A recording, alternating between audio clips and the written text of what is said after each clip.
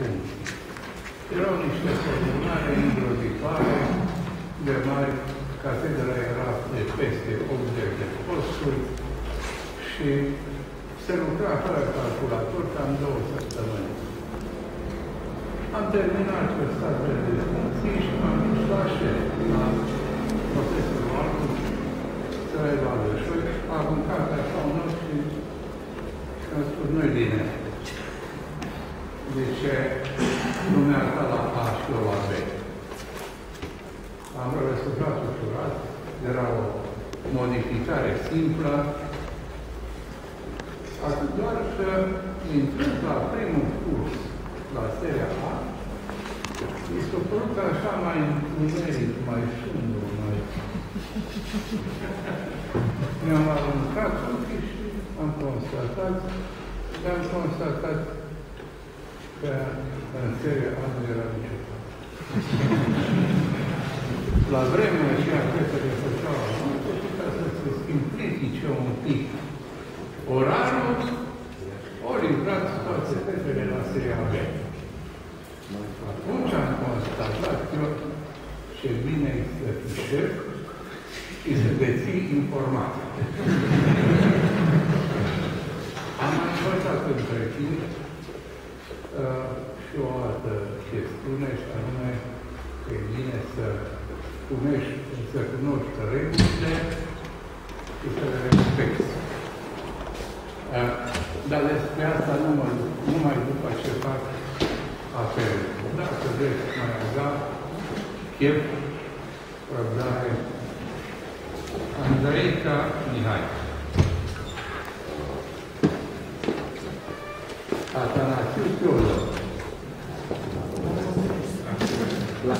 Da. Marinela Golaru. Pe noi, pe mine și pe ușor, cred că ne-au cunoscut mai toți profesorii și ceilalți colegi datorită situației aparte.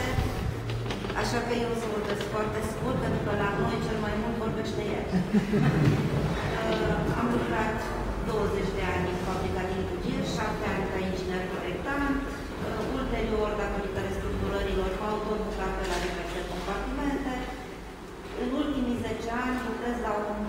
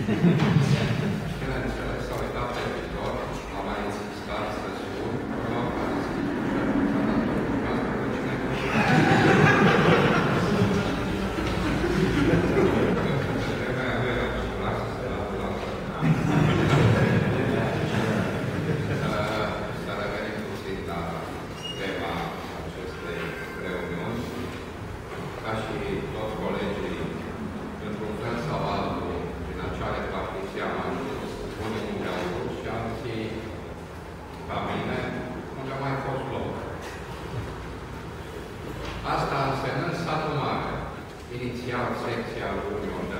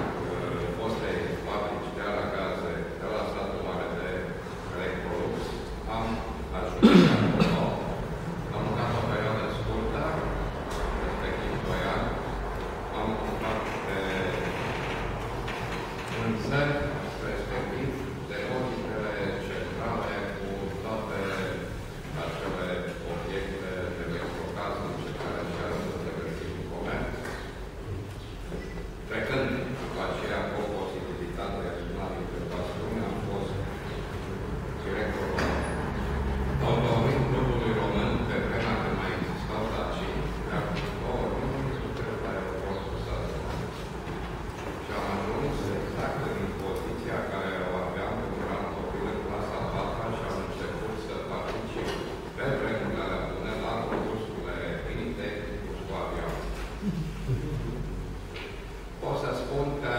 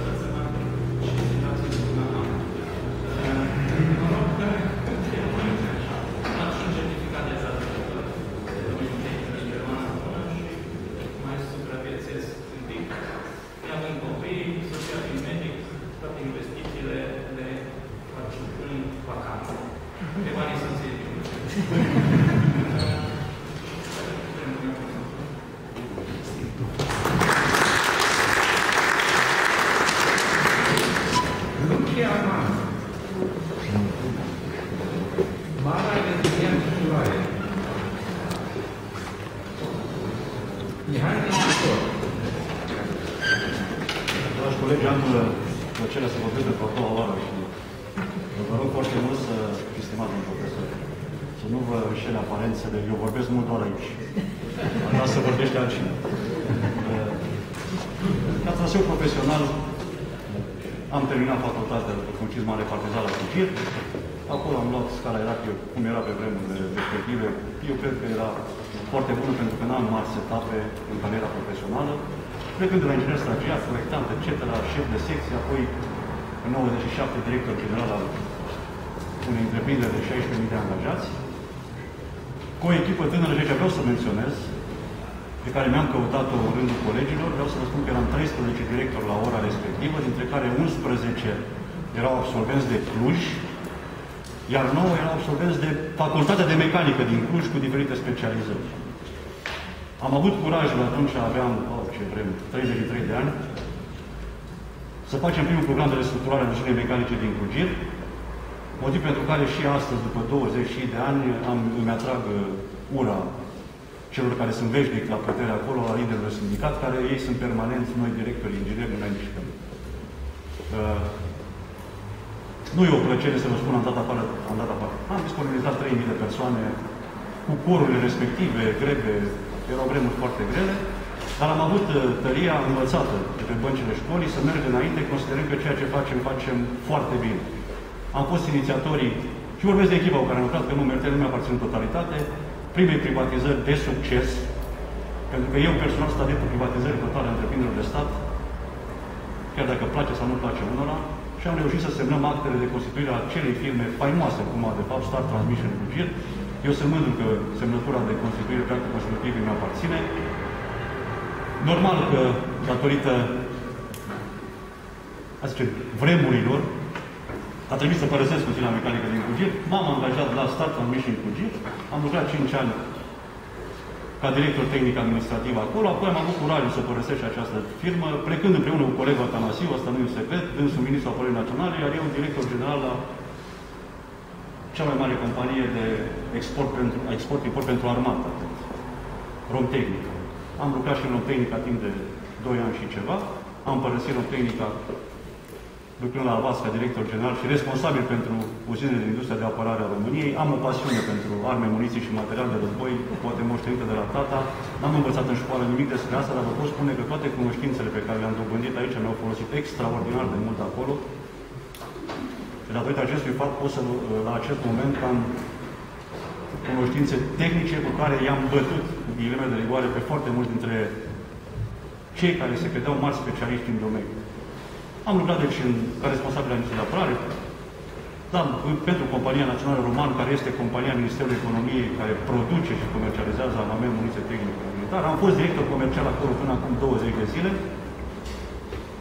Când uh, lucrurile au început să meargă foarte, foarte bine, nu vreau să mă laud, dar vreau să vă spun că ajung la cea mai mare cifră de afaceri, cu contracte pe încă 2 ani în care toată lumea poate să stea liniștiți, doar să fie funcționari care să-și facă actele. Dar uh, vorba colegilor, au început lucrurile să meargă foarte, foarte bine în București și deranjam, nu sunt tipul care să mă agăs de, de un scaun sau de o masă. Le-am spus tuturor întotdeauna sfatul meu prietenesc când erau numiți pe funcție de director că scaunul respectiv, o fi de piele mușamaci, o fi rămâne acolo, oamenii care vin pe scaun se schimbă în permanență. De 20 de zile sunt, am revenit la dragostea din tâi, inginer, simplu, la uzina mecanică din Cugir, unde bănuiesc că o să încep să-mi fac meseria dacă voi fi lăsat în pace, nu am vrut să deranjez pe nimeni, vreau, am nevoie de vreo câteva luni de liniște, să stau frumos, să-mi fac ceea pentru, meseria pentru care am fost pregătit de dumneavoastră, în special, domnilor profesori. Din punct de vedere al familiei, soția v-a spus foarte multe. Suntem aceiași. Ne cunoașteți pe, pe anul 2 ne-am căsătorit în facultate, ca șef de anul trebuie să mă căsătoresc primul. Ca să dau un exemplu, la o Fetița, pentru mine tot fetița, este aceeași pe care cred că ați și văzut-o pe Eugenean, pe la școală, din primul rând. S-a stabilit în Germania, nu știu dacă e un lucru bun sau un lucru rău, din punct de vedere al unui părinte e un lucru rău, zic eu. Mi-aș dori o aproape, din punctul de vedere al uh, carierei ei profesionale și al viitorului, cred că e mai bine. Cred în momentul de față, probabil că îmi voi schimba opiniile. Mă iertați, eu sunt un tip foarte, foarte optimist, dar am niște motive așa personale să îmi declar pesimismul. Am și un regret, am avut o, am avut pe colegii care stau în stat, stau, muncesc în Statele Unite sau în străinătate. Îi felicit, eu n-am avut curajul să, să plec, deși am avut o viză valabilă de muncă cu un salariu atractiv, atractiv, nu aș putea spune foarte bun, dar bun. Am zis că rămân în România să construim împreună România. N-am reușit. N-am reușit, dar vremea înainte, mă simt încă tânăr, mă simt în putere. Încă o dată vă mulțumesc, domnilor profesori, dragi colegi, facem schimb de adrese, mi-am și notat că vreau să mă apuc de business serios. Am și o primă privată, dar nimic. Mulțumesc.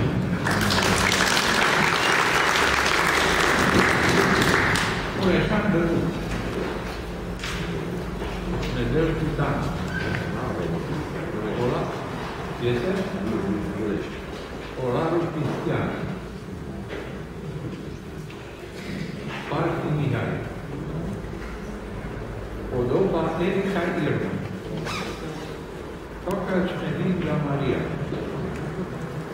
Prezentant Radu.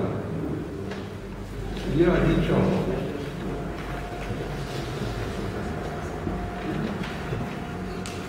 Angelescu Marian Can. Eu am uh, fost de mai multe ori aici în facultate, am mai multe întâlniri. Soția mea, care este aici, e absolventă promoția 85 pe cel de seria B. De aceea mă bucur de fiecare dată când vin aici, cu aceeași plăcere. Uh, am făcut facultatea de mecanică dintr-o mare pasiune, pasiune care mi-a rămas până în zilele acestea. Am luat repartiția, cum toată lumea a luat-o, la automobile Dacia. Și de atunci ne-am stabilit în Pitești. Am lucrat 10 ani numai în sculărie, diferite funcții, pornind de la tehnolog până la funcția de șef de secție. Am părăsit Dacia înainte să vină francezi din 97 și am lucrat aproape 10 ani în industria articolelor tehnice din cauciuc, unde am ajuns să uh, mă ocup de omologarea chederelor pentru logat. Uh, după care am, uh, nici întreruperi, am rămas în industria auto, uh, care este foarte prezentă la Vitești. Acum uh, lucrez la o multinațională care se ocupă tot de partea de acționari cu de viteze, uh, armuri de transmisie. Din 1997 lucrez cu industria franceză, numai cu fibre din Franța, dintr-o întâmplare. Uh, Vreau să spun și eu câteva cuvinte despre gândirea de a termina TCV-ul în Cluj. Acolo, la Pitești, majoritatea au făcut uh, studiile la București, pentru că e aproape. Însă, în momentul în care am ajuns pe platforma Dacia, șeful de personal a, fost, uh, a făcut o remarcă care la momentul respectiv n-am înțeles-o prea bine. Uh, A, ai terminat TCV-ul în Cluj, înseamnă că ești bun, fără să știe ce știu. Dar uh, în urmă am înțeles ce înseamnă asta.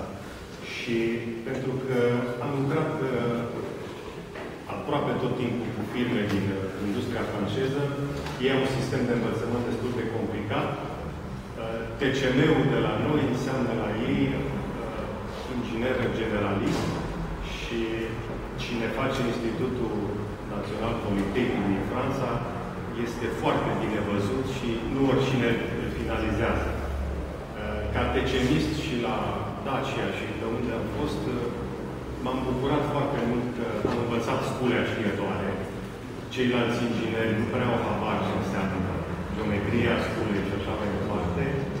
Apropo de organe de mașini, multora le-am spus că cursul acela din an 3 de organe de mașini a fost definitoriu pentru cariera mea de inginer. Și aproape tuturor le povesteam că înainte de a intra în examen, avem un bilețel, montaje de rulmenți. Și mi-a rămas au înțeles rulmenții și probabil sunt ingineri care au ieșit la pensie și tot n-au înțeles ce sunt rulmenții. Uh, de asta uh, sunt foarte mândru că am terminat PCM în Cluj și încă am o pasiune destul de mare pentru inginerie. Uh, aș vrea să vă mai spun două cuvinte. Am, uh, am fost capodidactic asociat la Universitatea de Pitești câțiva ani, dar nu s-a lipit de mine foarte mult învățământul, pedagogia, pentru că au fost generații 92-96 care nu interesau decât hârtia. Sub 1% erau interesați de, de a învăța ceva, de a rămâne cu ceva. În perioada respectivă, chiar după facultate, mai completam meriturile făcând proiecte. Proiecte de dispozitive, de organe de mașini și acum am acasă trusa rotin și mă uit cu la ea din când în când. Am tras foarte mult în tuș, soția scria și eu trăgeam în tuș, aveam o masă supraveghere imensă, ce vreau să vă spun cu asta, mi-aș fi dorit foarte mult ca băiatul meu, care a făcut anul acesta 28 de ani, să ne urmeze cariera. Amândoi cânteceniști, eu și soția. Și mi-ar mi fi plăcut să fie cu mine aici, să vadă unde am învățat și colegii și profesorii. Din păcate, a fost speriat de ce așa avea la imense, la 0, 1,5 la 0 și a zis că el nu vrea așa ceva. Vreau să vă mulțumesc că în mod special domnului profesor Crețu, care mi-a fost și următor la examenul de stat. Am avut un proiect de mașini unelte, mi-a plăcut și dumneavoastră tuturor pentru